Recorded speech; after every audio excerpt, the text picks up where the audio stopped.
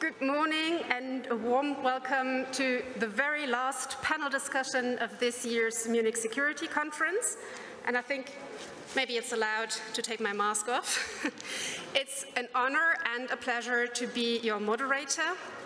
And the idea behind our panel discussion, Back to Elysium Fostering European Cohesion, is very much to bring the internal debate into the discussion. Um, without European cohesion internally, there cannot be a global capacity to act. Without the European Union being united, um, without um, having agreement on what the European values are, um, we cannot be a forceful international actor. So in the next 19 minutes, we will discuss how to strengthen European cohesion, how to bring citizens on board. We will uh, discuss European values. Um, and I'm super glad that I don't have to do this all by myself. I have a group of very distinguished speakers. Um, and to kick us off, the Croatian Foreign Minister Gordan Grlić Radman will set the scene. And after that, we will continue with the panel discussion. Minister Radman, the floor is yours. Thank you.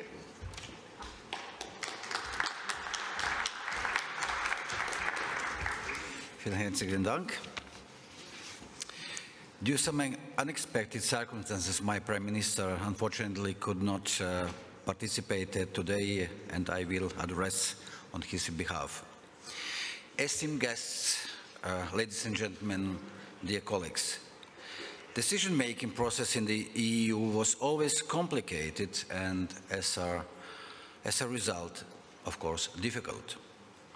Anyone who ever served in Brussels knows that but it was designed to be that way, as it had to take into account to complex, the complex set of challenges that laid ahead of their founding fathers.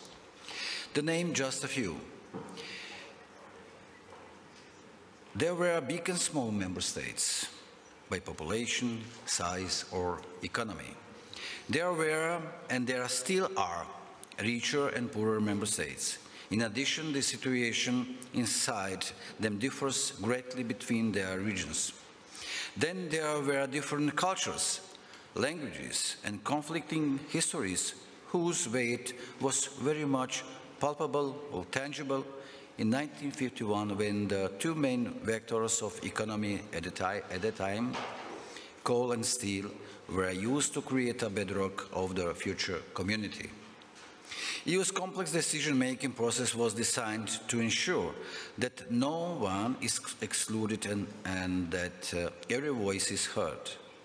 It was hard, it was tasking, but in the end it was rewarding. And it was all worth it. The foundations of the European Union were laid, the most successful peace projects in history. However, all of this implied the political and social elites functioning of the same frequency, which again implied the high level of knowledge and understanding of the Europeans' project's goal and corresponding readiness to invest work and energy in it. Peace and prosperity, their protection and assurance was always present in the background of the stakeholders' thinking process. We are not functioning in the same reality today. Today we live in a world of ultimate and dual social network democracy that puts pressure on democratically elected leaders in unprecedented ways. Current generation of voters forgot the horrors of 20th century wars and the economy and technology developed in a way that makes instant gratification a golden standard for everything and everyone. In essence, the success of our civilization became our liability. The somewhat closed public sphere of the second half of the 20th century that enabled the political, civil service, academic and media leaders to develop current EU is no more. Of course, the criticism existed back then, but it was directed through the systemic channels then, that made it constructive and thus produced better outcomes.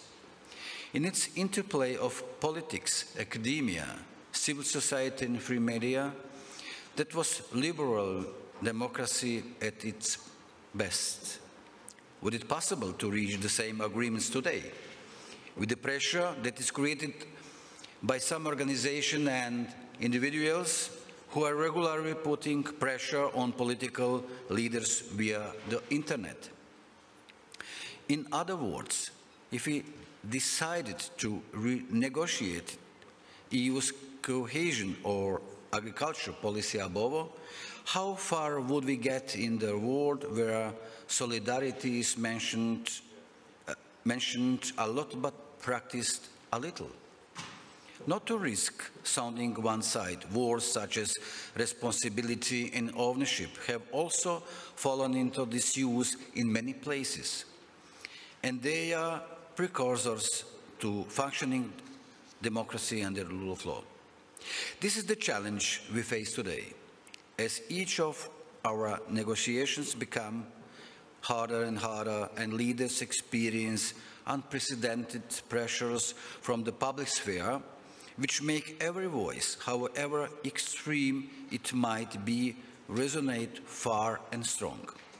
Now, how do we exclude, even censors, the extremes while defending the free, free speech one of our most cherished values and accomplishments. Keep in mind that in all of this, some leaders trying to survive their confrontation with the irresponsible populist dis disruptors, disruptors that have appeared from nowhere and even if they often do not last long, poison and alter the public discourses forever, succumbed and started playing similar game that often includes blaming Brussels. But if we want to save our values-based union, the elected leaders need to stop blaming Brussels for anything as Brussels only produces outcomes we all participate in creating. We also need to give each other a benefit of doubt. We need to listen and hear each other we share the same values, but we are different, united in our diversity. But we are all under pressure of alternative facts and cheap lies. Literally cheap, as launching them via the internet does not cost a lot. Our citizens and voters are confused between market forces and advertising, chase for the last cent of profit to the conspicuous forces hiding in the darkness of the cyberspace from foreign governments, systemic challengers, terrorists, or plain criminals. We are being bombarded. In every move we make to address this necessarily a crackdown of democracy where God knows who is meddling in our public discourse. It's everything that is today defined a civil society movement by a definition pro-democracy. Pro -democracy.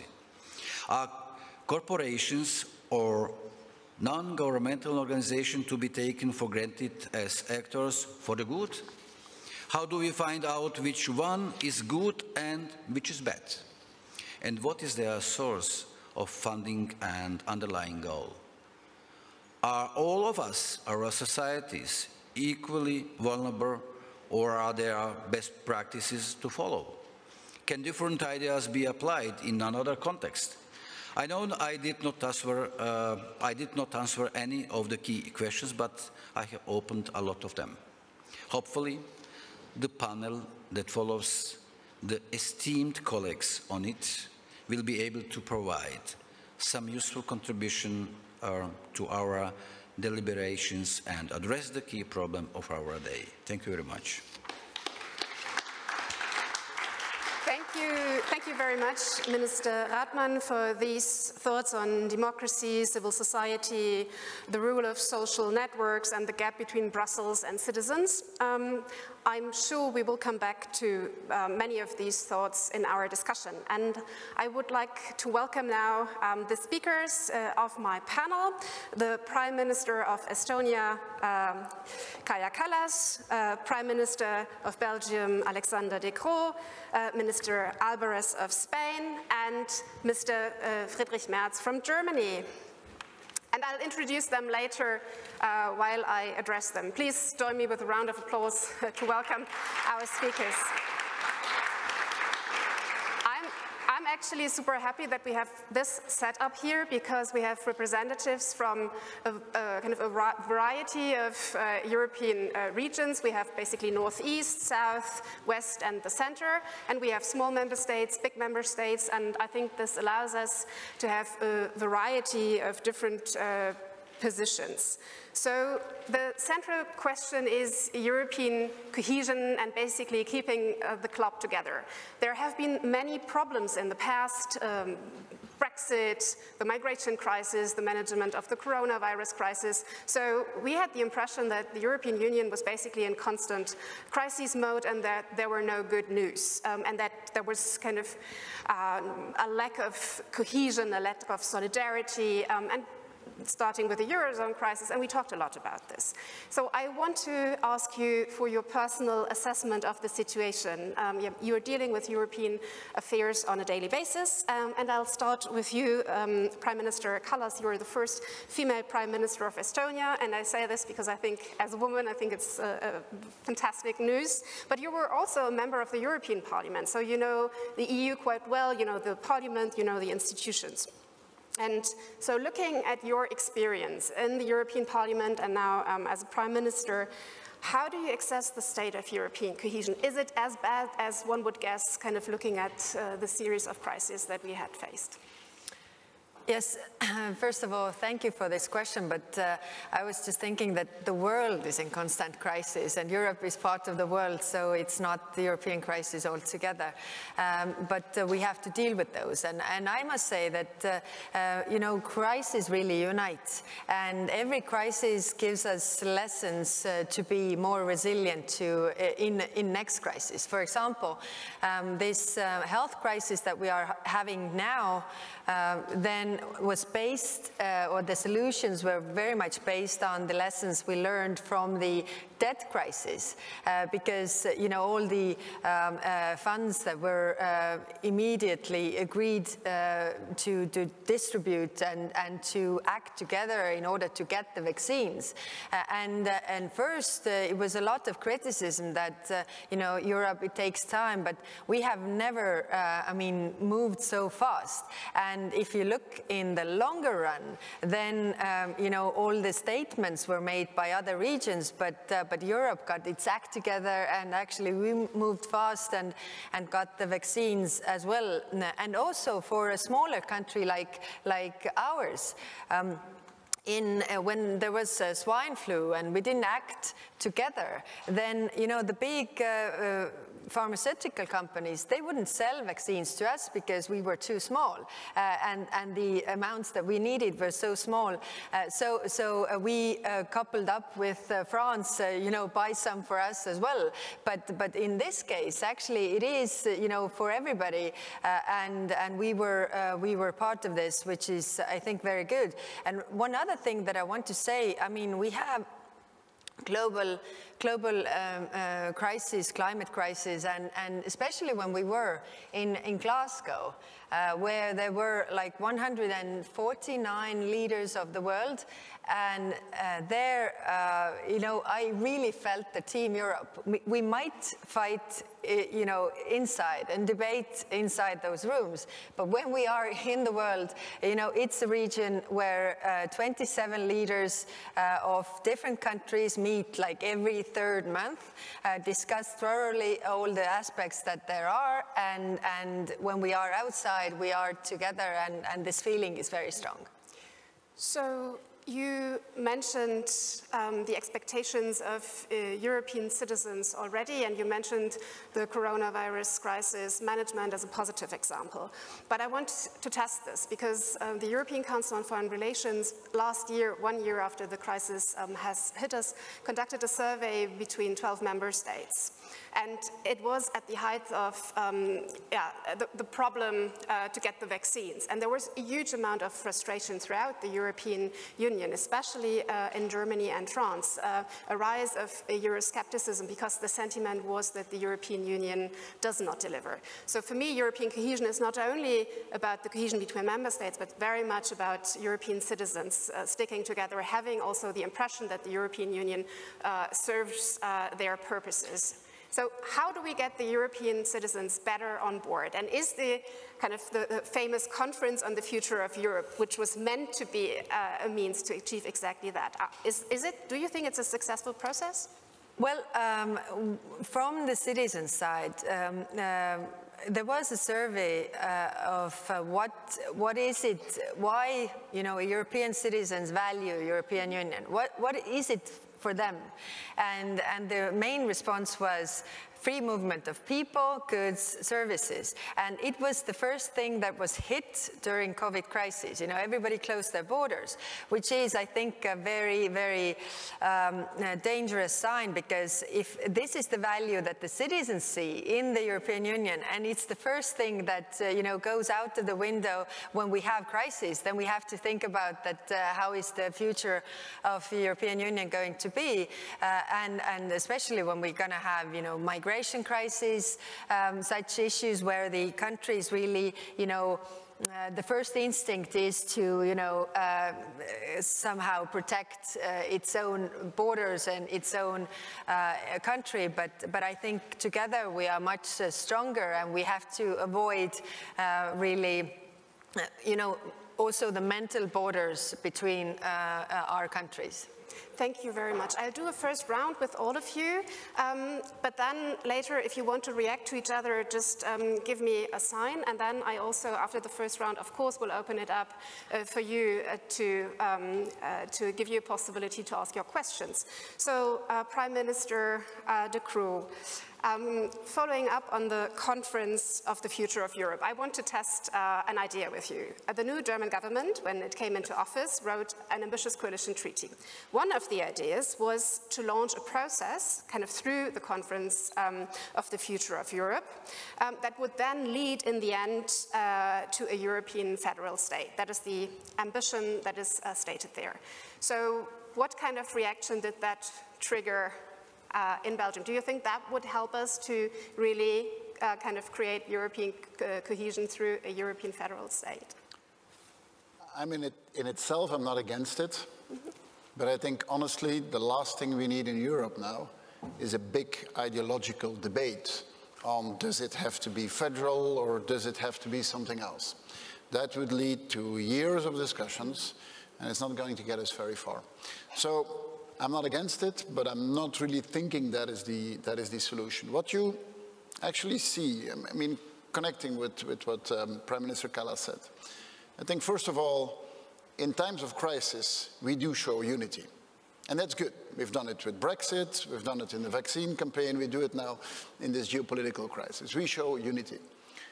But we don't show unity in the other dimensions, where we should not be reactive, but where we should take the lead. And we should take the lead, it's actually a bit harder to, uh, to do it. And I think that when people say Europe fails, that's what they mean. Because what you see these days is that, I mean, the European project used to be pulled by visionary leaders that came with great ideas and they pulled everyone forward with ideas where often people said, do we really need this? And then people were convinced afterwards. I think now it's actually switched around. What you see is that there's a push from the population. It's not the visionary leaders that pull uh, Europe forward, it's the population that expects more. And so when population says Europe fails, it's on that element of we expect more. And you see that with COVID, in principle, this is not a European topic. But the population said, you know, member states are not up to speed, not, are not up to, to, to capacity to do this. Europe should do it. It's the same with the energy crisis. The population says the European Union should come with an, with, with an answer. And you feel that younger generation is pushing us forward. And that's the thing we should, uh, we should respond to. But I don't think to that demand for more European effectiveness, I don't think the answer is a big institutional debate. And you know, institutional debates, we Belgians, we know all about this. this is a national sport, and state reforms, you know when it starts. When it ends, it's more difficult. What really the goal was, once you have a decision, was it really why we started? That's often doubtful. So I'm in itself not a big, big fan of that. Okay. Can I ask you another question uh, when it comes to expectations of citizens? Um, and that is actually to deliver on the rule of law and yes. uh, kind of to save uh, mm -hmm. European democracies from democratic backsliding. Um, so the EU is a community of law, but also of values. And there is uh, a huge debate uh, within member states what, what that really means. I mean, mm -hmm. and just on Wednesday, the Court of Justice of the EU issued that landmark ruling that Brussels now can cut uh, funds to those countries that are not respecting the rule of law. So it gives power to the Commission to apply the um, rule of law mechanism for the first time. Do you think that um, this will bring us forward in this debate to create more unity and cohesion on the matter, uh, kind of what rule of law really uh, should mean uh, for the European Union and what European values uh, really are? Do you think Poland and Hungary and other countries will likely embrace the ruling and say, yeah, now finally uh, we see the light and uh, we follow uh, the direction of the European Commission. So is it likely to um, increase tensions or to ease tensions? Well, I think it is indeed a landmark decision. And it's crucial that the European Court of Justice uh, took a decision on that. And, and it comes to the essence of the European construction. I mean, you see these days, what is the value of Europe? Is that if you're confronted with a big external partner, what they love to do is to intimidate small countries. If you're a 130 million inhabitants country, it's easy to intimidate small, small country in population, yeah, yeah, apologies, of 1.3 million inhabitants. That easy. It's harder to intimidate a block of 27 countries. And what we often hear is in our interactions with external countries is they say, well, but why are you, you giving away your sovereignty to this European construction? This is crucial we member states, and especially the smaller member states, we took a choice to give away a part of our sovereignty. Now, the other side of giving away part of your sovereignty is respect for rule of law. If respect for rule of law is not guaranteed, then it's extremely hard for us to give away a part of our sovereignty. So it's the essence of the European, uh, of the European construction. If you want it to continue to work, then I need to be sure that the part of the sovereignty I give away is respected in the rest of the country. Now, that decision is a landmark case. But let's be clear, this is not only a legal discussion, it's also a political discussion. And we're not going to solve a political problem with a legal answer. So, the decision of the European Court of Justice is a first step.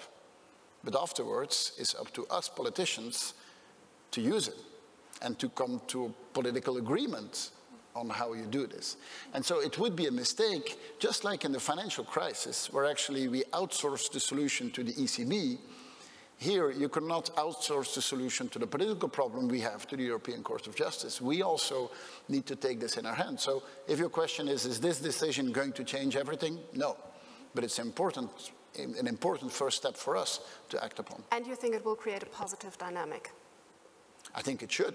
Okay. And if, it, if, it, if it's not, then we have, a, we have a problem. I mean, we, up to now, we've talked about unity and about the positive things. But we shouldn't be overly optimistic. I mean, we have our issues within the European construction, and the rule of law, the respect to the rule of law, obviously, is, um, is, is one of them. So we, we need to solve this. But we have solved our issues before, and Europe take steps forward in moments of crisis, and this is one of them. Thank you very much. So I'll address a couple of topics and then later in the discussion we can um, dive deeper into some of the issues. But now over to Minister of Foreign Affairs, European Union and Cooperation, Jose Manuel uh, Albares Bueno. Uh, very welcome um, on this panel. And um, I would like to ask you a question on, again, the coronavirus crisis and its management, but more the fiscal angle of it. Um, so this crisis um, certainly had the potential, or still has the potential, to further amplify regional disparities and uh, social economic um, inequality. So there is now a huge push amongst some member states to reform the EU fiscal framework, um, because the fiscal impact of the COVID crisis um, makes reform unavoidable. Um, some member states say.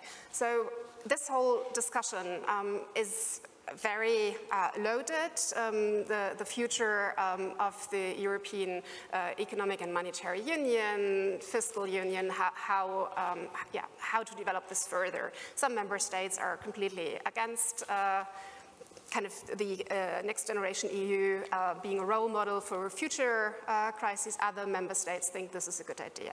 Where does Spain stand on all of this?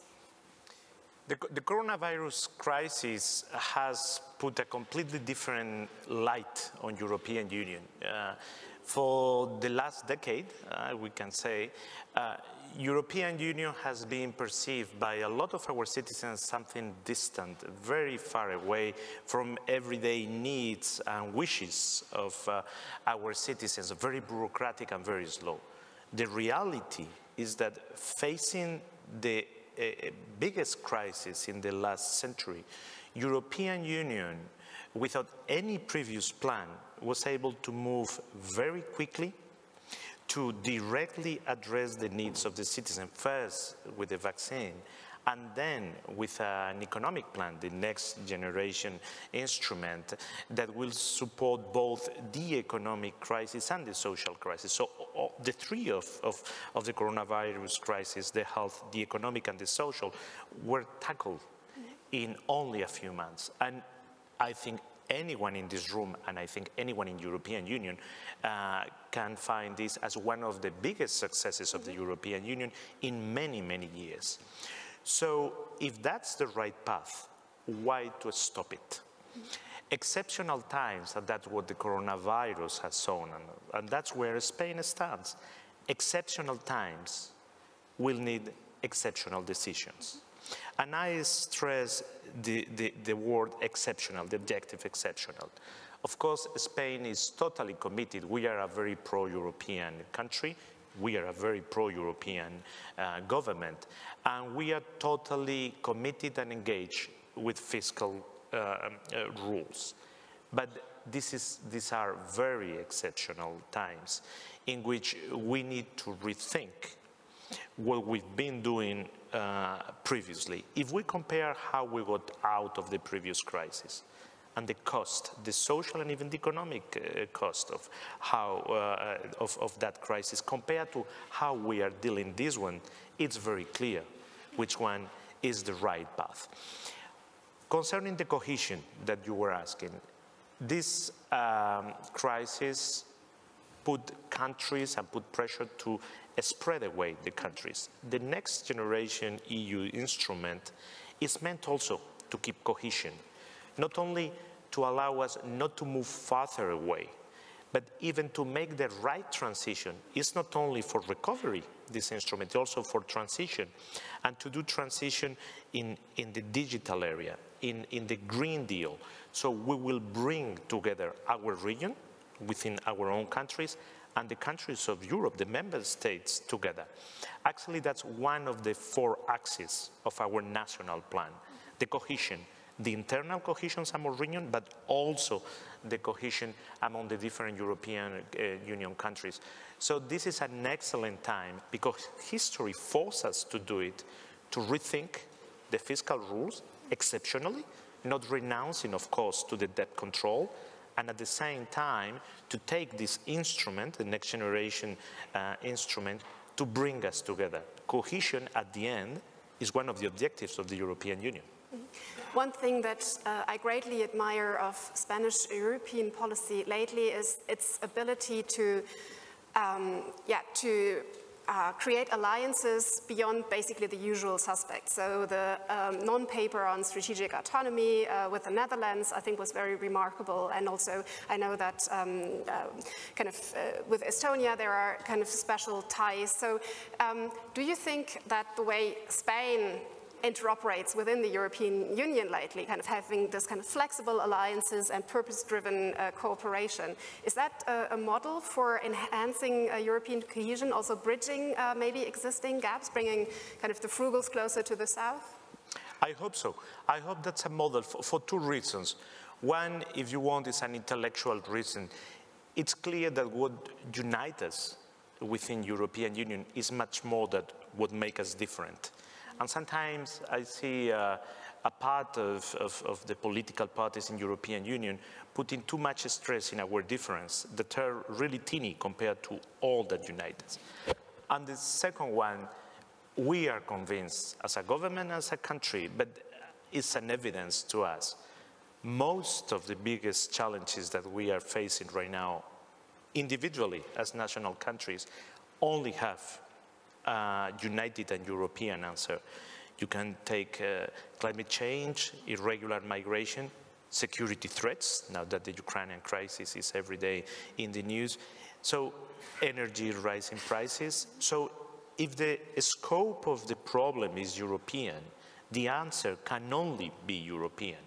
To try to create the impression that we can give individual national solution is just lying to our public opinions.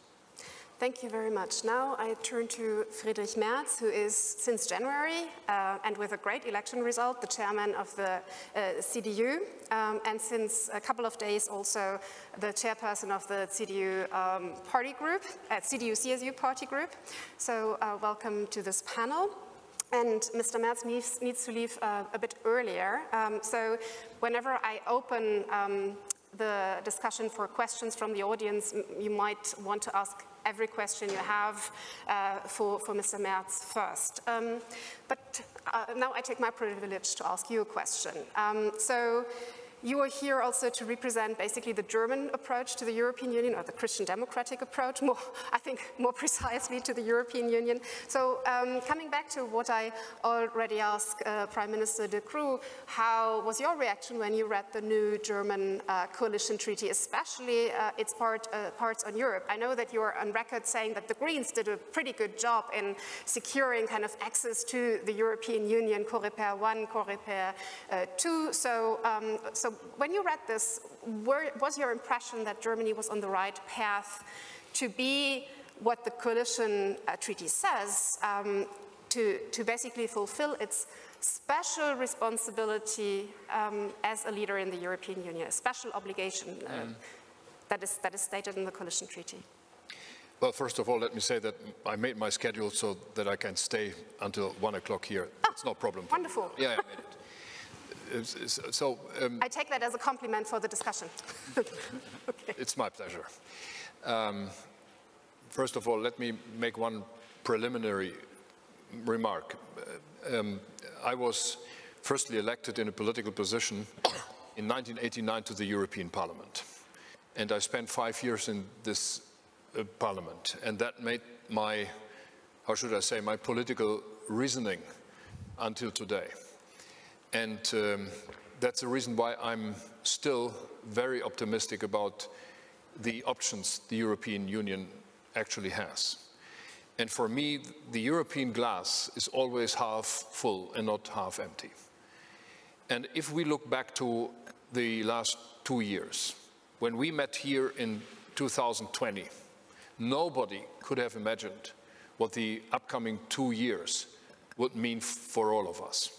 And from today's perspective, I think we can say that we really again achieved a lot. Just only one look at the process of approvals of new vaccines. This was the shortest period of time ever in an approval process for new vaccines in the European Union and worldwide ever. And we made it.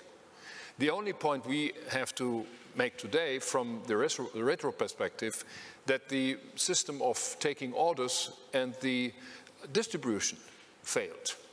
But the approval process was a real success story for all of us, and this is something which is valuable for the entire future on this special market. So now back to Germany. Germany is one of the founder states of the European Union, and this has always been our political obligation. We are in the strategic center of this European continent, and that's the reason why always Germany has a big obligation to bring this European policy and this European Union forward into our common future. And if we are now think or believe or have to believe that we are on the eve of a bigger conflict on this European continent, we are seeing all the challenges and all the differences we are faced with. We are still lacking of a European integrated uh, foreign security policy. And my personal view, you have not to share that, but my personal view is from this experience in the European Parliament and on the European, on European policy, we have to talk about the unanim unanimous vote on foreign security policy. The process of bringing the uh, political and judicial order um, on the way in this European Union and the decision you mentioned from the European Court last Thursday uh, are demonstrating that this was only the second choice. Why couldn't we take the first choice? Because there is unanimous vote. So if we are, if we should talk about, or we should talk about, let me put it this way, how we can overcome from case to case, not in general, but from case to case and step by step, the unanimous vote on foreign security policy in this European Union, we could make some further progresses in this area where, in my view, is the deepest lack of competency and strength of the European Union. And that is the lesson which we are learning, actually. And, and, and if I go home from this conference uh, in the afternoon, my takeaway is that this awareness has never risen in a so short period of time so dramatically up than in this conference on this weekend that we have to do more on this. And this is the outcome for me, which makes me extremely optimistic about the future of Europe. So, but I want to push you more on the current uh, European a German European um, policy and also your ideas for it. So you're in opposition now um, with uh, the CDU uh, and the CDU-CSU parliamentary group. What are your ideas how to basically um, accompany this process of European uh, policy of the new German government. So what are your ideas? What, what do you want to push forward? What, where do you want to basically chase the new German government? Well, the, the, the, normal way to proceed on that is that the government has to make some proposals and to bring some ideas forward, and then we react on that, and either we agree or we are disagreeing and giving alternatives to that. And that's the normal way how we are proceeding in this process now, a new government, and we are, again, third time in our history, in the opposition role. We take that, and we will fill that out. But we are coming from a long-standing uh, tradition in my party. And just let me mention one of my predecessors who presented in 1994 a paper how to proceed within the European Union, not only in taking new members as full members immediately, but to have an integration process step by step, and they named it uh, circles with different integration depth of the European Union. That was Wolfgang Schäuble in 1994. And surprisingly for me, I was reminded today in my one-on-ones on this position, which is now almost 30 years old, that we could come to some sort of different integration steps towards the European Union. Let, let me just uh, mention the Western Balkan which has to be integrated in the European policy step by step, but this could be something we will debate on in the European, in the, in the German parliament and in public in this country. And this country, um, this is my final remark on that, this country is still very supportive for European integration, even though we have some problems and some complaints which are justified, but the general mood in Germany is still a vast majority, beyond all these, these people on the street crying and all these uh, um, uh, uh, people there out there, the vast majority of Germany is still and will remain favorite, in favor for further European policy and integration. Do you think that would also be the case if uh, the European Union now in this crucial question on fiscal unity, if there would be a majority um, in Germany to um, support the uh, kind of EU Next Generation Fund as a role model for future crises. So, because that has traditionally been a very toxic topic in our German public, right. and uh, especially voters of your party or the Liberal Party are very much against it. So, what do you say to this idea, or this kind of that we are in, a, in an exceptional situation, and that what we have done now with the Recovery Fund is just yeah. not enough? Is that what you would support, or what you would Thank you for the question. For? And I give you a very clear answer. Mm -hmm. This is not a Hamilton moment. Okay. And this is the difference between the government, at least the chancellor. I don't know what the, the government, entire government is thinking about that. For example, the finance minister, he never mentioned that. But this is the difference.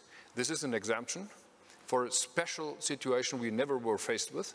But this should not be the normal case that the European Union is refinancing its budget on capital markets.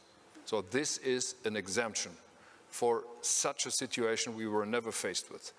But then we have to come back to the rules, and these rules are the stability and currency framework, which we implemented 20 years ago, I was spokesman for the implementation of the euro in the national parliament then, and I stick to what I told the, the, electorate in Germany then, that we will have a stable currency and a limitation of public debt.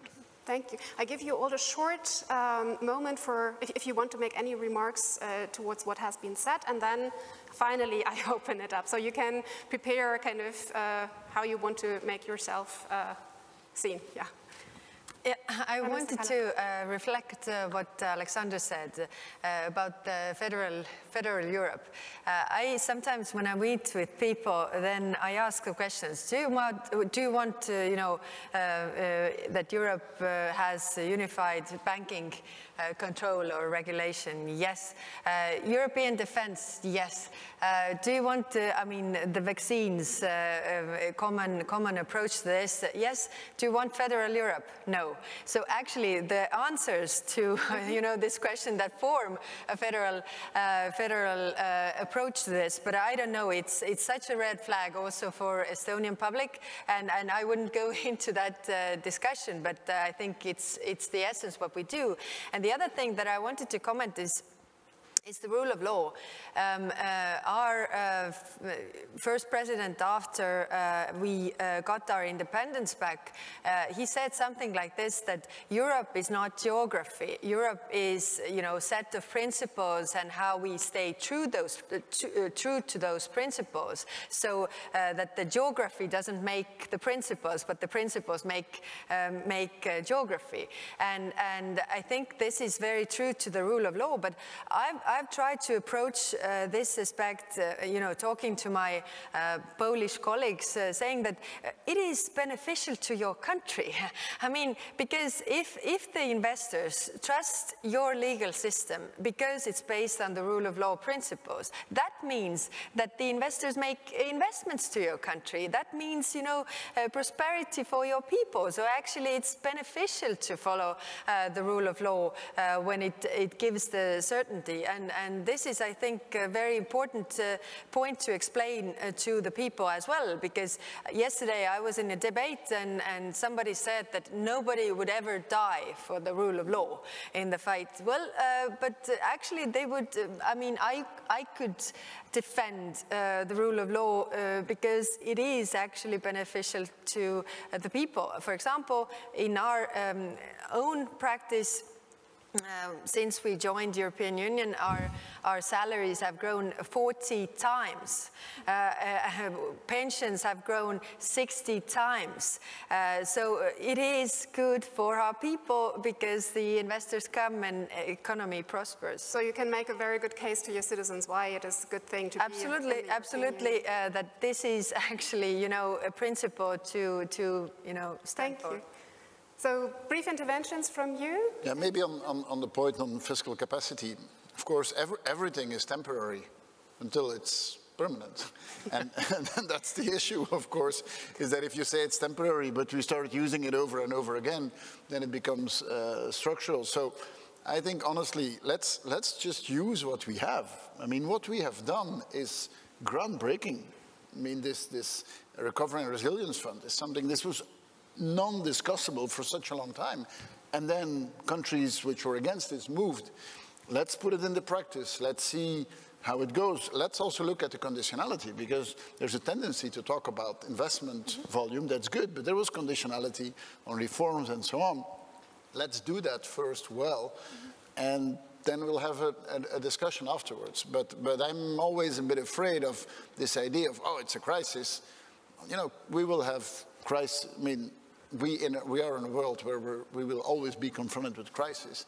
And I'm a bit afraid to use that crisis mode to then do something which we do not really master enough. Okay. Minister Albares? Yes. Yeah. Oh, sorry. Yeah. Go ahead. Uh, a, a, couple comments. On, on the debate on, on, federalism or not federalism, um, it was already said there are there are many achievements of the European Union that are already federal, if we can uh, call it that way.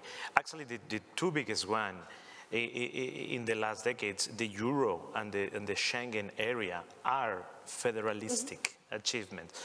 And I think uh, most of our citizens consider them greatest success, and we couldn't live as, as we do it. Uh, I think that the, the, the wrong approach, and that's why it's so hard to have that sort of debate on, on federalism in Europe and why it has become uh, so complicated to, to, to, tackle it is because uh, almost as a fake news, uh, some people have been telling our citizens that they had lost control uh, of themselves and their society. But when you see uh, irregular migration used politically in the eastern border of Europe, you see that uh, uh, the governments don't claim national sovereignty, they claim European solidarity. When we are facing COVID, the governments don't claim national sovereignty and national response, but European response. And when we have a security threat, a big security threat, each individual country doesn't say, I will take care on my own. We say, let's go all together, let's take uh, uh, united uh, decisions. So for all those reasons, first, we must protect our federal achievements, if we can call it that way, the euro and the integrity of Schengen. And secondly, let's not listen always to those that say that we have lost control because they are the same that face to a real threat. They say, let's play European.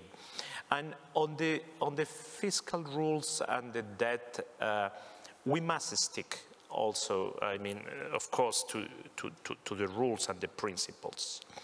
But if we ask our citizens, and that's the only important thing at the end, what they think, it was better the way we dealt with the financial crisis, or they are more happy as we have dealt with this crisis. I haven't heard one single voice, one, in the whole Europe saying we did it wrong this time. We heard many voices saying we did very poorly the last time. So that's a fair hint mm -hmm. of where we should go if we think that we must respond in democracy to our citizens and not to our own ideological ideas. Thank you. Mr. Merz, maybe uh, briefly, because you're between the audience uh, questions and the panel. No, go ahead, please. If yeah? you want to open the podium, it's, okay. it's fine.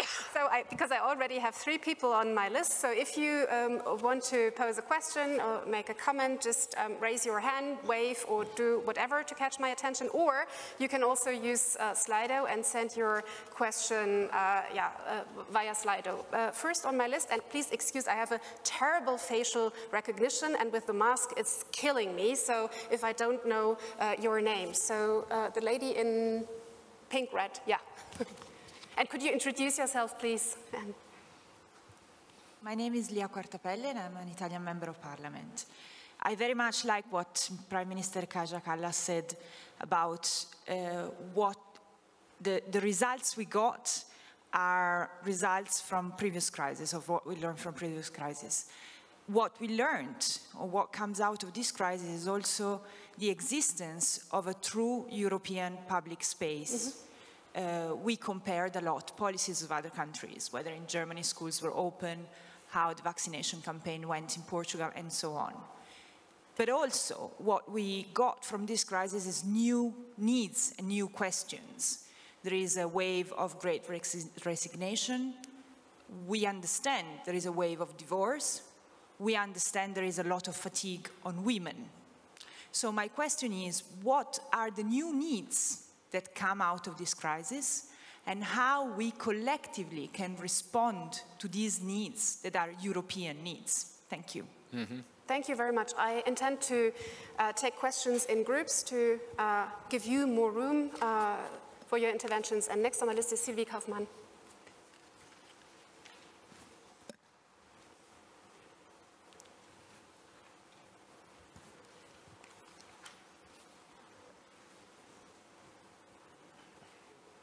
Thank you very much, Sylvie Kaufmann, uh, French newspaper Le Monde.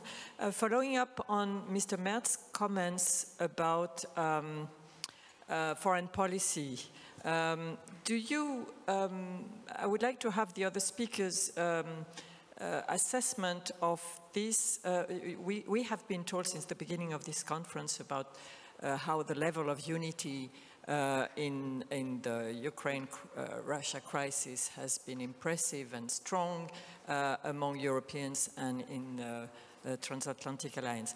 Do you see this European moment uh, as potentially transformative for, for Europe, as, you know, as the uh, recovery plan was also transformative in terms of uh, fiscal policy, potentially?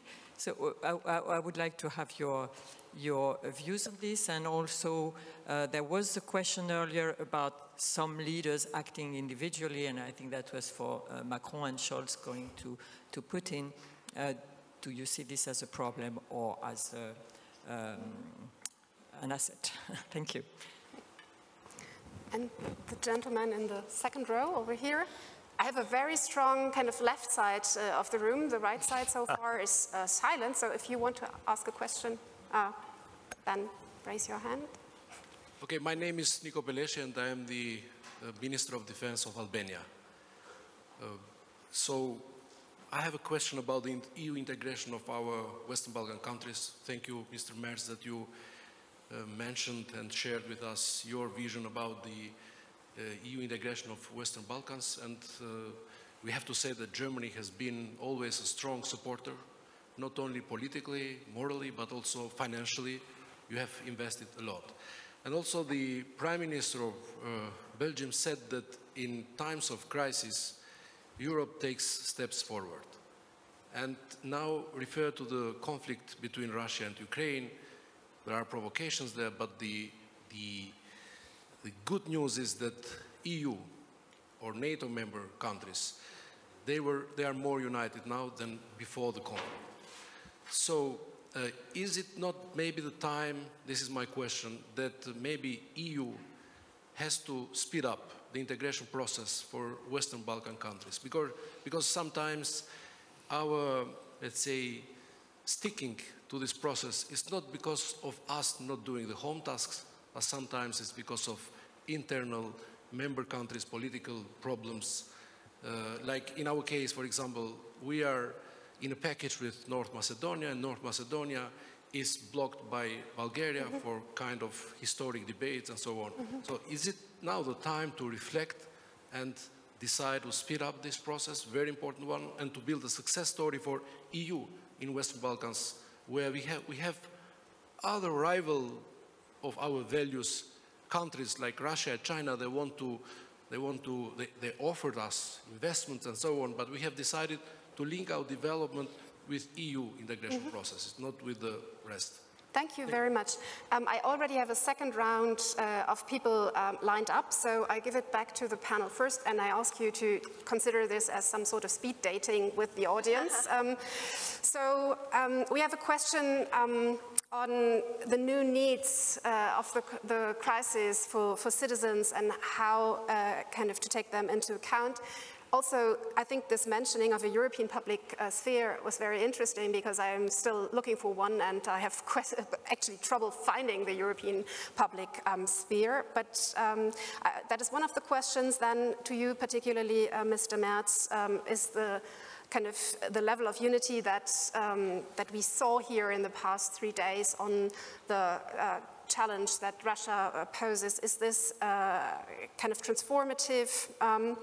And maybe uh, if one of you wants to comment on some member states uh, going it alone and whether that helps uh, to enhance cohesion or whether it weakens cohesion. And then I would actually like maybe all of you to comment briefly on the very last question, the uh, accession, que accession question, uh, enlargement uh, question, because I think it's a crucial question because the argument of those that say we cannot enlarge right now is that we have to keep our club together first and there are so many crises and powers that tear us apart if we enlarge now, that would kind of undermine our cohesion and not strengthen it. Mm. So maybe we do a round of speed dating and yeah. Okay. Ladies first. Uh, yeah, uh, Prime Minister. Um, first of all, I think uh, it's too early to tell what are the uh, lessons from these crises. The next one came immediately after and, and it's, it's uh, hard to really reflect now, but, uh, but I think uh, some uh, some issues are already seen that that also we need unified approach, for example, and we can do, you know, quite fast unified approach to digital sphere, for example. I mean, digital identities that we have been talking forever, and it was like, yeah, you know, Germany can't have a digital identity, and that's why we can't have a digital identity in Europe, so that you know it could function on online. But we did in two uh, months, we did the digital certificates for COVID, which is actually, you know, one step further, is, is what we can uh, do, uh, uh, the digital identities for everybody that could solve so many issues in the cyberspace. Um, that's one thing. Um, regarding uh, um, this uh, security crisis and the unity there, um, the question, for us, I think um, um, this is, uh, is showing that um, so far we have those voices that, you know, they in Europe, they in Europe decide something, they in Europe. And, and I've always said uh, in, in Estonia that we are Europe. We are as equals as, you know, German or France is at those tables. We have been in the European Union for 17 years. We are Europe. Um, and, um, and as I said, it's not geography, but principles. And, and now uh, it is really seen that, uh, that we are equally listened to. And, and when the question was uh, about Macron and Scholz going to Moscow, uh, we were uh, consulted before, we were consulted afterwards. Uh, we are, you know, equals. We really feel that we are listened, being listened to, which is a great, a great thing. And the last thing about Western Balkans, uh, when we were joining European Union and NATO, it was a dual track approach. So, so if, you know, NATO door was closing, then, you know, European door was opening. And it was, it was like that. Uh, so, so therefore, I have also proposed on the European level that, you know, if it is very hard to, uh, you know, make steps uh, regarding NATO, uh, you know, European doors should be more open. Uh, and, and uh, you know, uh, we had huge discussions about North Macedonia, but I'm, I have huge hopes. I hope can, I, I can say publicly here uh, for the new Bulgarian government in this respect. I had uh, good meetings with, with um, a new prime minister, so uh, putting the hopes there. Fingers crossed, yeah. so on, on, on, on, I'll take two elements. First on, on, on Western Balkan, um, there is a process let's stick to the process. We know that, I mean, it takes time to go through all of this. I think there should be no coupling of one country with another. I think every country should be evaluated on its own, uh, on its own merits. Um, is it possible to speed up? it's possible to speed up on how fast you achieve the milestones, but I think it's important to stick to the milestones. On foreign relations, I just wanted to, to, to do a concept on that. There is a bit of discussion on, you know, as Europe, do we have hard power or do we use soft power? I think actually as Europeans we have something else. And, and the other thing we have is, I would call it seductive power. I think we're good at seducing people. And, and, and seducing people is something very different. Yeah, you can smile about this and can have a lot of stories about what it means. But, but with hard power alone, do, do you think today the ones using only hard power at our eastern borders, do you think they're seducing someone? You're not seducing someone with hard power. And the United States used to be very seductive. What was the seductive element of the United States? It was the American dream. And everyone wanted to be part of the American dream. I'm not sure this is the most seducing idea anymore because they lost it a little bit. So what do we have? I mean, what is, how do we seduce someone? How do we actually make someone stronger? Because the process of seducing someone is not only make yourself look good, it's also make the other person feel stronger, want to be part of this relation. For me, it's very simple things. It's quality healthcare, um, which is affordable. It's quality education, which is affordable. And it's the good life. In Europe, you don't have to be at the top 1% to have a good life. I mean, middle income people, even lower middle income uh, people can have a good life. And it's something we should uh, put more, uh, more forward. Now, if you want to be good at seducing, you also need some hard power and you need some soft power. But I think that's what makes, uh, makes Europe unique, and I think we should develop it much, uh, much stronger. Thank you. Foreign Minister. I will uh, continue on foreign policy. I, I think that going from unanimity to qualified majority, uh, it's something that we need to really move forward because there is a real disparity in European Union. We are a superpower in things like democracy or human rights. If we tell one country you are not fulfilling with human rights or with democracy, that's a terrible blame. No one wants that from us. We pay a lot. We are a superpower in development aid. We put money in many of the crises. At magic, by magic, we have no political weight on those issues. So usually we put the sanctions, others do the political dialogue. Some others put the political framework, we pay and we make the investment coming from European Union. Why we cannot match our real muscle with the brain? It's as if we had the muscles, but we didn't have the brain, which is completely ridiculous. That has a lot to do on how we do European Union foreign policy, and I think we have to move forward. Some hard power from us, it's also needed. This is the right time. We are with the strategic compass right now. We are thinking about it. Do we think the European Union must have a say in different parts of the world? If yes, what do we need in order to do it? That's the reflection. And on Western Balkans, uh, of course, enlargement is, is, is a must. We have to move forward, and Spain is committed, of course, to that enlargement. Thank you. Mr. Merz? Um, I agree with what has been said here on the podium, mostly, but I would like to focus on the question, is this a transformative moment? Yeah. And I think that this is definitely a transformative moment. And this is in a row with European history. European history has never been a steady, slow-moving development upwards.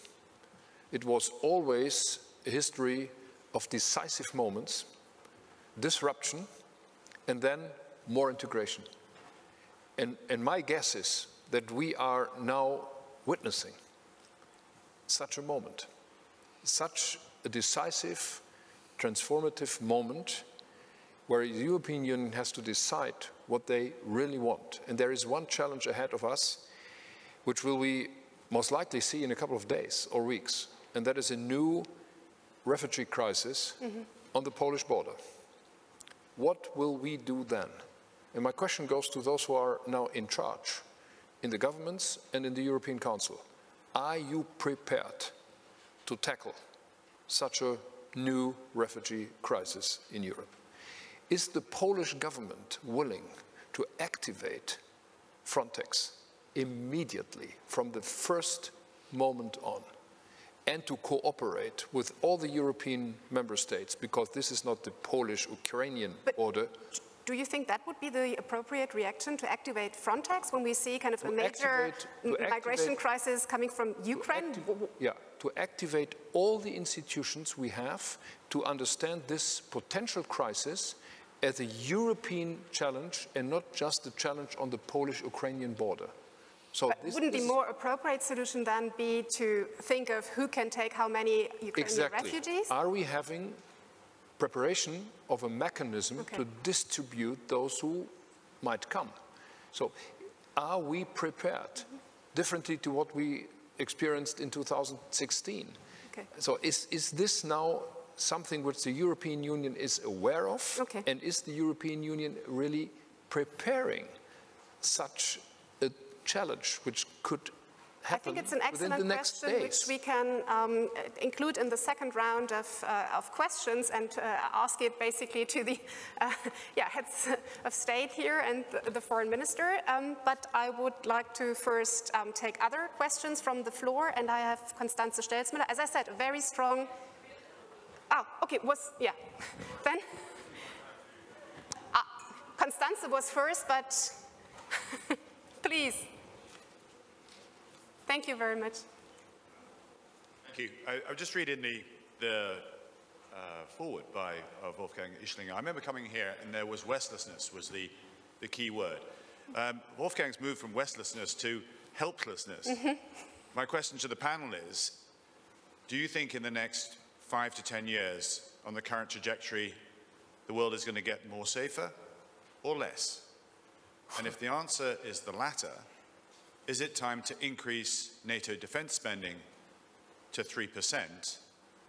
And as a passionate uh, lover of European security, investing in European security from a British perspective, could you outline the disparity between NATO's responsibilities and duties and the European Union's uh, aspirations, it seems, to develop its own defense capabilities?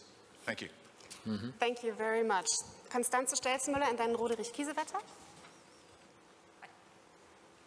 Hello there, Constanze Stelzenmüller, Brookings Institution. Um, I have what maybe, well, probably is a tricky question, and it's, and since we are in Germany here with German hosts, um, I've noticed where I work in Washington, but also here, in fact, diplomats have told me that Germany bashing has become something of a thing in this crisis. Jana's nodding, she knows what I'm talking about. Now, I'm the last person to say you shouldn't criticize my country when that is warranted. But there also seems to be an element of, you know, it's, it's become a phenomenon of its own. So, what would be your advice, Madam Prime Minister, gentlemen, and, and you, Herr Merz, as what in Britain would be called Her Majesty's loyal opposition?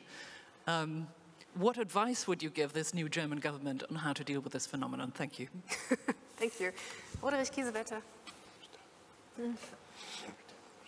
Yeah, thank you very much indeed. Roderich Kiesewetter from the German Parliament. Um, Friedrich Merz just spoke about a transformational moment we just experienced. Um, Your Excellency, Mrs. Kallas, you spoke about to include the youth, and you all four spoke about societal cohesion. And our panel today is also about European cohesion, and my question and proposal is beyond security policy.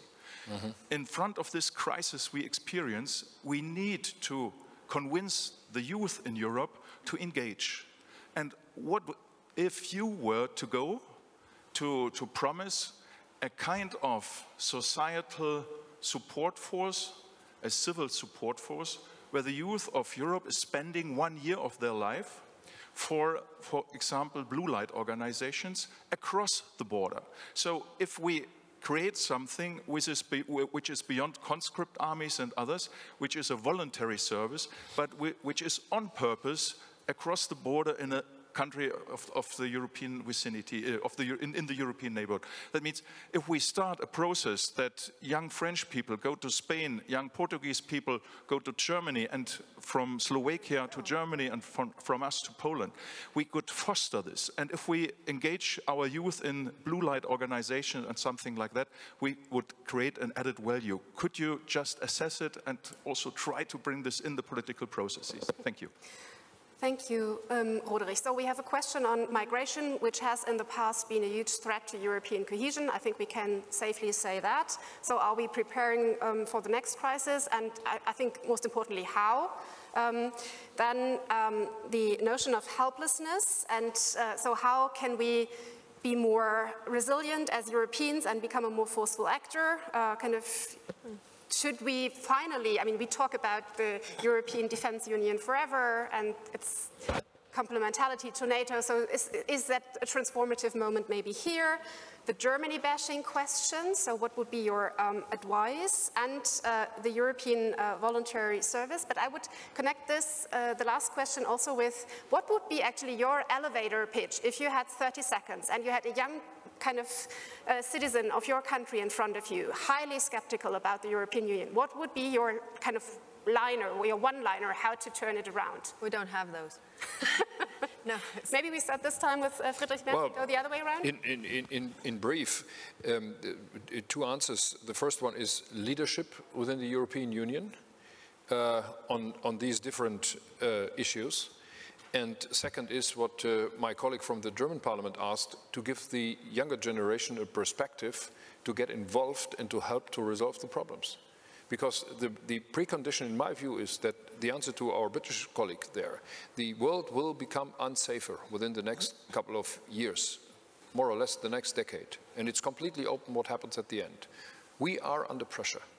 And that's the reason why we have to do anything what we can do. Leadership, clear structures within the European Union, focus on the, on the competencies the European Union really has, and to get the younger generation included. Was it 30 seconds? no, yeah, but no, no, 30 seconds was only for this kind of part of the, the, the many questions. Not, you don't need to stick to it in total. Yeah. That's why I follow up on the Germany bashing question, because um, how do you perceive this, like being in opposition, being highly critical with the German government yourself? Uh, how, what, what yeah, do well, you make of it? We are used to that for many years, that this always is happening. But on the other hand, Germany is doing uh, so much, not just on, on defense, but also on global responsibility in so many places in the world. I think there is no reason for Germany bashing. As long as we are sticking to our uh, obligations, as I said, in the European Union, and as long as we are willing to be under those member states who are really pushing this European Union ahead with a clear agenda for Europe and for our own country. Mm -hmm. Thank you. Foreign Minister. Yes, I, I will uh, uh, tackle the question on migration because that's a very important one. That's one of the main challenges of, the, of, of, of Europe uh, nowadays. And also we will see more and more in the next few years, and I agree with you, the unacceptable political use of irregular migration to put pressure. It will be a sort of option to a real war. Huh? And we have to be ready for that. Of course, the, the answer of Spain, what we will do, it's already there by action. What we have been doing in the last few years is we are an external border of the European Union. We know very well the irregular migration phenomenon and we take care of our load, our national load, but every summer and every time uh, Spain has been needed, we have also taken a part of the share of those boats that are with irregular migrants, and we have uh, shown European solidarity. And this is very important because what we are confronted in the migration issue is if we believe in European solidarity, or we only think that European solidarity is when we are this debating and discussing about European uh, uh, cohesion funds or structural funds. If you think that European solidarity should be there in order to receive funds, you must also show European solidarity when you must take a load of something that is not so nice. Because at the end, irregular migrants don't come to Spain or to Greece or to Italy or to Poland, to, it can happen to any country, it comes to Europe. So if the scope of the problem is European, the only answer can be European, and that will show the real solidarity. And there was this idea of making young people make one year to, to spend in a sort of voluntary uh, program. I think that I, I, I, would have to reflect exactly on that idea, but if we take what has been the most successful European program, Erasmus. Right. Exactly. So that's the right path. Mm starting from the beginning. And to a young Spaniard, if I would have 10 seconds to tell him something, is one, one, just one clear thing. Your life would be not as good as it is without the European Union. And as fast as possible, we should take the Brits again into the program. So, sorry, I didn't. As fast as possible, we, took, we should take the Brits okay. to the program again. Yeah, I think yeah. that depends very much also on the British yeah. position on yeah. this. Uh, but uh, we can try, always. Uh, so on, the, Prime Minister De on, the, on the elevator pitch, I, I, would use a line I read from uh, Tony Blair recently, who said, the problem these days is that politics is only about politics, whereas it should be about ideas and about solutions. And that's the big issue these days. The only thing that people see from politics is the opposition. I don't agree with you and I don't agree with you, like which is easy. I mean, that's easy. But the real thing that people expect from us is, you know, we might be from a different party, but what are we going to do together? And how do we go forward? And that is lost in these very polarizing times. And Europe is actually good at that. That's the success of Europe. I mean, the virtue of democracy is not the majority. The virtue of democracy is the protection of minorities. And no one in the world has been better than Europe in protecting, uh, protecting minorities. Then maybe rapidly on, on defense and on should we increase spending. Look, if you, if you compare US spending and European spending, um, we do, I think, 40% of what the US does. So it's significantly lower. But if you look at the output, the output is 15%, one five. So today, our European defense spending is not one plus one is equal two or equal three. One plus one is equal one and a half. And that's because each one of us still have their own programs and their own standards right. and, and, and so on. And that for me is much more important than saying, oh, we had 2%, let's go to 3%. It's not so much about more spending, it's how do we spend it mm. and how do we put it, uh, put it together. And there we have a gigantic leap to make. And for us, NATO is the cornerstone of our collective security. But NATO will function better if we Europeans pull our weight together and if there is a better balance between the US side and the European side. Mm-hmm. Yeah. on, on Germany, one small comment? Oh, on Germany bashing, yeah. Oh, come on, let's stop this. and, and, and, let's be clear in this crisis. I mean, is Germany a reliable partner? Yes. yes. Stop. Yeah. End of discussion. Absolutely. Germany is a reliable partner. And uh, I yeah. guess you agree, Prime Minister Kallas. Uh, yeah, oh, well, uh, first uh, on, on Germany, I mean, I've had this uh, you have, question. You had tough, tough uh, weeks, actually. question from, from the German, German media all the time. So to criticize the German government for not giving the consent on the howitzers, feeling very uncomfortable to be in the middle of German internal political discussions. But it's, it's up to Germany to decide what they do and what they don't. But, but as, as uh, Alexander said, uh, is Germany a reliable partner? Yes. Is a strong ally? Yes. Uh, so, uh, so nothing to see there. On the uh, European defense, I, I, totally agree with you. We have to spend more on European defense. We have increased our, our spending in defense. it's more than 2.4% now um, of our GDP. And, and of course, it's our own defense plus the collective defense. But what I'm worried about in these discussions is that, you know, making the armies of Europe stronger and make them cooperate, you know, is a good thing.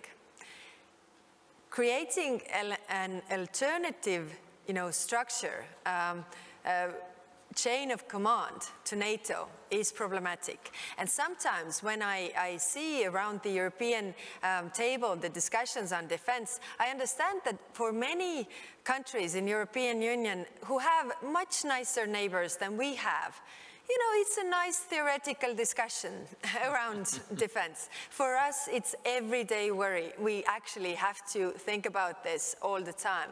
And, and um, and therefore, I would be very, very careful. I mean, the transatlantic alliance is, is very important, uh, but uh, uh, making our army stronger is also important.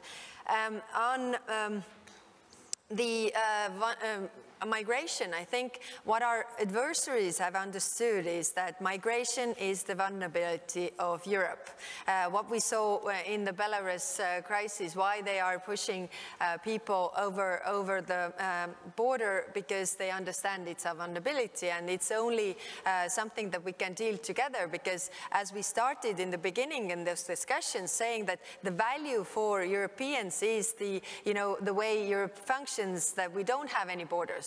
If uh, we have uh, huge uh, pressure uh, from outside, and of course uh, war refugees is a totally different topic, then you know what what what could be or what will be the answer is that you know Germany or or Netherlands start to close their borders, which is the end of the European Union. And lastly, my elevator pitch for the young Estonian who is doubting in European Union or Europe, I say that look at our history we have in being in the geographical position where we are, we have two choices, either to be with Russia or to be with Europe. We have been with Russia, I can tell you it was not nice, so uh, Europe is the way.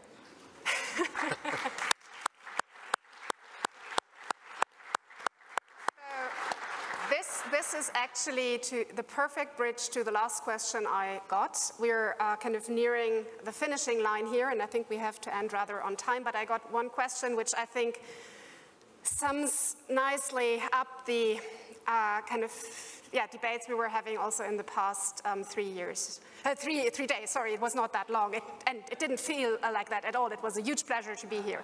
Um, so, um, a faster integration of countries belonging to the former USSR, it uh, says here, would interfere again with the Russian need to a buffer zone. How do you deal with that? And it's, it's exactly, Prime Minister Kallas, if you say kind of either we are with Russia or we are with the European Union. Ukraine um, has, in 2014, made a choice. Oh, I mean, they had expressed a wish. The wish still stands. I think it's a, a wish that many other countries uh, share. We have talked about the Western Balkans. But precisely on Ukraine or mm. Georgia, but, but maybe yeah. make it about Ukraine and yeah. the European membership uh, well, uh, first of all, uh, as I said, Europe is not geography, but uh, a set of principles. So, so either uh, you, you, if, if a country wants to follow those principles instead of uh, those presented by some other countries, it's their choice, and, and we have to, you know, take this into account. And, and of course, what was also, you know, the question with the Western Balkans, I think we can't kill hope because if the hope is killed uh, to um, join the European family and also, you know, follow the principles that we agree and stay true to the principles, then it's also a signal to all the other countries that might take up the path of democracy and, and, and you know, the principles that we follow in, in Europe, the values that we share here. So, so we, we can't kill hope. We have to make our own steps uh, if, if the countries are moving uh, forward forward and, and we can't really break our promises that we have given uh, to those countries. Thank you. Final comment on this, Prime Minister. So the question was on, related to European membership or NATO? A faster integration of countries. I think it was on European, I mean, given that this is a panel on uh, European cohesion mm. and the European Union internal affairs, I take it as a question uh, on the European Union yeah. membership perspective for yeah Look, Ukraine we, we know, we know there is a process and, and, and the, the acquis communautaire, as it is called, is fast, so it takes time to make to, to, to just grow to, uh, to each other. So I think we need to respect the process, but also be clear that when milestones are achieved, we go forward. I mean, let's, let's not make it a moving target, which, which makes it um, in, uh, in, in, impossible. But I'm, I'm, I mean, I think that the, the, the threats that have been made to NATO, um, to NATO membership that some countries would want, and that then Russia says, you know, it's our sphere of influence and so on. I don't think we're going to solve that with, with European Union uh, integration. Yeah. And that, that whole concept of sphere of influence, I mean, that frightens me in the sense of then, as a Belgian, I mean, what is, who can claim sphere of influence on us? I mean, the French, the Spanish, Dutch, I mean, everyone has been where we live uh, today. Um, so, so that's just a concept that is completely against evolution of history, and, and, and, and, and it's a, it's a backward-looking perspective, which, I mean, I think has been rejected enough during the, the past three days. Thank you. Foreign Minister Albares. Yes, um, on, on the accession, uh, there are rules and there are criteria that anyone has to, to meet, so that's very clear. But I think that the, the real question uh, inside that question is uh, is the European Union that decides who their members are, and no one outside the European Union. And that's what's at stake right now. It would be the same answer for NATO. No one must decide who can be a member or not of European Union or NATO except European Union and NATO members. And uh, the, the, the, the reality of what's at stake right now is we continue going forwards toward the future European Union, NATO, any regional organization decide about their members on their own criteria, of course, and their own rhythm, and giving the final possibility to themselves to say yes or no, but it's our decision. Or we go back to the past, a past that we don't want to see again, a past in which there were walls, there were spheres of influence, there were some countries that had full sovereignty and others it was only a little bit of sovereignty, Spain completely rejected going back to the past. So we want to go to the future. That's very clear. Okay. Final remark, Mr. Mayor. Widening the European Union or NATO is actually not on the political agenda. But what we, I think, have to do now, and this word was mentioned during this weekend so often, is to increase resilience for us, for the European Union, for NATO, and I think there is all reason to be very self-confident to say there is no threat coming from this European Union or from NATO to anybody in the world. This is the consequences out of the process we've made 30 years ago. And there is one international agreement, 32 member states signed, including the US and Canada, and that was the Charter of Paris from 1990. And this is the framework for our political order on this continent. And that, let, let, me just make one comment on, the, on Europe. What, what is Europe? Europe is more than the European Union. Europe is this continent. And to this continent, there are two big countries entirely belonging, and that is Russia and Ukraine. And by the way, these are the two, by territory, biggest countries in Europe. We all know that Russia is the biggest one in the world, but Ukraine is the second biggest one by territory for Europe. So we have to resolve this problem, and then we can step by step try to come back to what we had in 1990, and this is the basis for our perspective in this century as a European Union which is ready to widen and to have better conditions for all of those who are willing to accept these rules which we laid down in 1990. Thank you very much. I think the panel has quite remarkably shown that cohesion is uh, still under stress and that there are many challenges. We are, um, as Mr. Merz has uh, said, in a transformative moment. I think we could all agree on this, not in a Hamiltonian moment, or that is not quite clear yet, whether the transformative moment will be accompanied by a Hamiltonian um, moment or not. I very much liked uh, your remark, uh, Prime Minister Kallas, on a conference that is entitled Unlearning Helplessness to say we can't kill hope. Um, is, I think, something uh, that, uh, for me, uh, yeah, it could be the, the, the, motto for the next uh, Munich Security Conference, um, maybe, um, because I, I, was actually suggesting hopefulness as, uh, the as another possibility.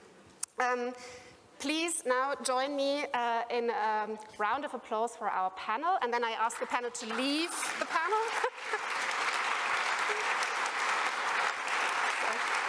Could you